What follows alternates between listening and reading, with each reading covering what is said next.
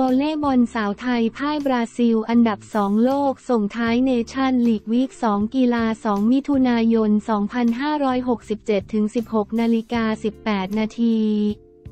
วอลเลย์บอลสาวไทยสุดต้านพ่ายความแกร่งของยานแม่สาวบราซิล ทีมอันดับ 2 ของโลก ปิดฉากการแข่งขันวอลเลย์บอลเนชันส์ลีก 2024 สัปดาห์ที่ 2 ที่เขตปกครองพิเศษมาเก๊า การแข่งขันวอลเลย์บอลหญิงเนชันส์ลีก 2024 VNL 2024 กลุ่ม 2 ที่กาแล็กซีอารีนาเขตปกครองพิเศษมาเก๊าประเทศจีนเมื่อวันที่ 1 มิถุนายน 67 เป็นการลงสนามนัดสุดท้ายสัปดาห์ที่ 2 ทีมวอลเลย์บอลสาวไทยอันดับ 12 ของโลก พบกับทีมชาติบราซิลอันดับ 2 ของโลก เกมนี้ โคชยะ นัทพลศรีสมุทรนาคหัวหน้าผู้ฝึกสอนทีมชาติไทยตัดสินใจส่ง เทียว อัชราพร คงยศลงเป็นผู้เล่นชุดแรกร่วมกับทัดดาวนึกแจ้ง กับตันทีม ชัชชุออนโมกศรีหัตยาบำรุงสุข พิมพิชยากกรำนัทนิชาใจแสน โดยมีปิยนุชแป้นน้อยลงเป็นผู้เล่นอิสระเซตแรกสาวไทยเริ่มต้นได้อย่างยอดเยี่ยมโกยแต้มออกนำไปก่อน 6-1 บราซิลไม่รอช้าขอเวลานอกเพื่อเบรกเกมทันที จากนั้นเกมกลับมาสูสี สาวไทยทำยังคงทำได้ดี โดยเฉพาะเกมบุกจากหัวเสาขยับแต้มหนี 19-15 บราซิลต้องขอเวลานอกอีกครั้ง และดูเหเทือนจะได้ผลบราซิลลงมาเล่นได้ดีขึ้น โดยเฉพาะเกมบุกของกาบีหัวเสากับตันทีมบราซิลเก็บคะแนนจี้มาที่ 17-19 ไทยต้องขอเวลานอกเพื่อเบรกเกมบ้าง และดูเหมือนจะไม่ได้ผลบราซิลยังคงโกยแต้มแซงขึ้นนำ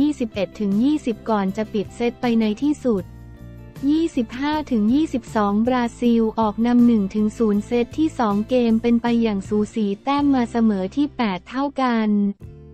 จากนั้นบราซิลเริ่มเข้าที่ทั้งบล็อกและเกมบุกจากหัวเสาและบอลเร็วโกยแต้มปิดเซตไป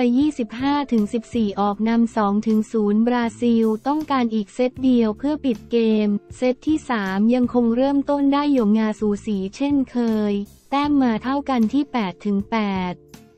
จากนั้นเกมรับไทยเริ่มแถวลงไปเจอทีเดนลูกเสริมของบราซิลเล่นงาน ก่อนจะปิดเซตเอาชนะไปอีก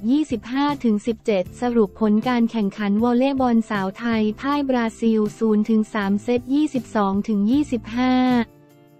14-25 และ 17-25 กำแพงสูง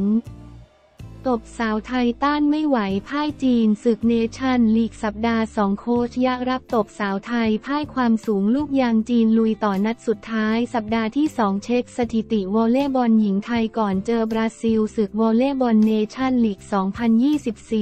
2024สำหรับทีมวอลเลย์บอลหญิงทีมชาติไทย จะพักหนึ่งสัปดาห์ ก่อนกลับมาลงแข่งขันในสัปดาห์ที่ 3 ที่เขตปกครองพิเศษฮ่องกง นัดแรกพบตุรกีวันที่ 12 มิถุนายนเวลา 16 นาฬิกา นัด 2 พบเบลแกเรียวันที่ 13 มิถุนายนเวลา 12 นาฬิกา 30 นาที นัด 3 พบโปแลนด์วันที่ 15 มิถุนายนเวลา 16 นาฬิกา และนัดสุดท้ายพบเยอรมนีวันที่ 16 มิถุนายนเวลา 12 นาฬิกา 30 นาที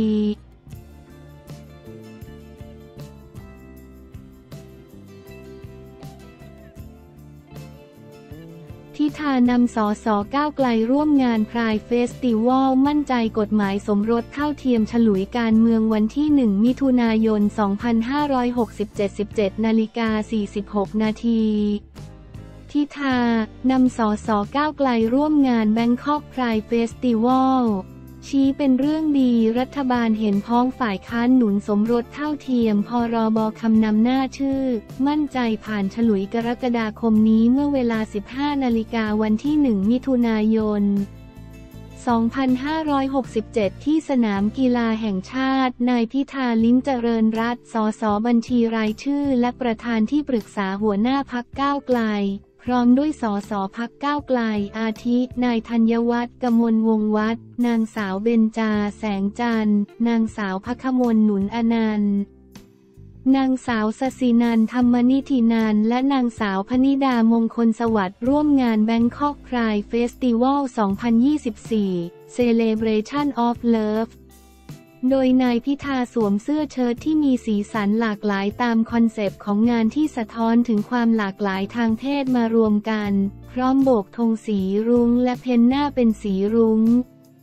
โดยระหว่างเดินทางเข้าในงานมีประชาชนแห่ถ่ายรูปและกล่าวทักทายกันอย่างคึกคัก นายพิธาเปิดเผยว่าเป็นการกลับมาเฉลิมฉลองของเดือนที่เราภูมิใจในอัตลักษณ์ของตนเอง และมีความกล้าหาญพอที่จะพูดออกมา ซึ่งในวันที่ วันที่ 18 มิถุนายนนี้สมาชิกวุฒิสภา สว จะอภิปรายร่างพระราชบัญญัติ พรบ สมรสเท่าเทียมในวาระสามโดยมีผู้อภิปรายขอแปรยติอีกแค่สองคนเท่านั้น ส่วนตัวมองว่าวันที่ 18 มิถุนายนนี้คงไม่มีปัญหาอะไร เชื่อว่าจะสามารถทำให้กฎหมายสมรสเท่าเทียมได้บังคับใช้ ส่วนนบ รอ บอ รับรองคำนำหน้าหน้าจะมีโอกาสได้อภิปรายในสภาช่วงเดือนนก คอ รวมถึงกฎหมาย sex worker ทางพรรคก้าวไกลได้เตรียมไว้แล้ว เรื่องนี้เป็นมากกว่ากฎหมาย แต่เป็นเรื่องของสังคมและความคิดคน Pride คือความภาคภูมิใจในสิ่งที่เป็นตัวของเราเอง นายพิธากล่าวผู้สื่อข่าวถามว่าตอนนี้กฎหมายสมรสเท่าเทียมมีสัญญาณที่ดีหรือไม่ นายพิธากล่าวว่าได้ยินที่รัฐบาลให้สัมภาษณ์ว่าจะสนับสนุนกฎหมายนี้ จึงเป็นเรื่องดีที่ทั้งฝ่ายค้านและฝ่ายรัฐบาลจะทำงานร่วมกันได้ ซึ่งตอนนี้กำลังรอกฎหมายของคณะรัฐมนตรี คณะรัฐมนตรี และของภาคประชาชนโดยก้าวไกลได้เตรียมร่างยื่นประกบแล้ว คาดว่าจะได้เข้าสู่การพิจารณาของสภาในเดือนกรกฎาคม ส่วนที่รัฐบาลบอกว่าจะสนับสนุน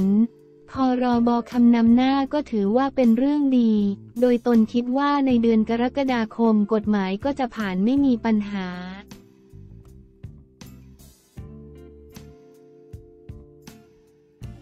รู้จักเฟมว่าที่เจ้าบ่าวแมทพีรณีหนุ่มหล่อนอกวงการโปรไฟล์ไม่ธรรมดาเด่นออนไลน์วันที่ 1 มิถุนายน 2567 9นาฬิกา58 นาทีชวนรู้จักเฟมว่าที่เจ้าบ่าวของแมทพีรณีหนุ่มสุดหล่อนอกวงการโปรไฟล์ไม่ธรรมดา เตรียมตัวเป็นว่าที่เจ้าสาวคนต่อไปแล้วจ้าสำหรับนางเอกสาว แมทพีรณี ที่ถูกแฟนหนุ่มเซอร์ไพรส์ขอแต่งงานที่นอร์เวย์เรียกได้เปิดตัวแฟนพร้อมกับประกาศข่าวดีกันไปเลย หลายคนต้องสงสัยแน่นอนว่าว่าที่เจ้าบ่าวของสาวแมทจะเป็นใคร วันนี้มาทำความรู้จักกันสำหรับว่าที่เจ้าบ่าวนั้นมีชื่อว่า เฟมพิมาเดชศิวพรพิทักษ์ ปัจจุบันอายุ 34 ปีเป็นลูกชายของนายอภิรัตศิวพรพิทักษ์ อดีตผู้ช่วยปลัดกทม ด้านประวัติทางการศึกษา จบการศึกษาระดับมัธยมศึกษาที่สาธิตมหาวิทยาลัยศรีนครินทรวิโรฒ ปทุมวันส่วนระดับมหาวิทยาลัยนั้น จบรัฐศาสตร์ที่ San Francisco State University และจบปริญญาโทจากรัฐศาสตร์จุฬาลงกรณ์มหาวิทยาลัย นอกจากนี้เฟมยังเป็นน้องชายของอดีตนักแสดง ฟานอัคครินศิวพรพิทักษ์หรือกรอย เด็กเนิร์ดในแก๊งหินกลิ้งในละครดังอย่างกลิ้งไว้ก่อนพ่อสอนไว้ และเฟมยังเป็นพี่น้องกับเชฟฟิน เชฟชื่อดังอีกด้วย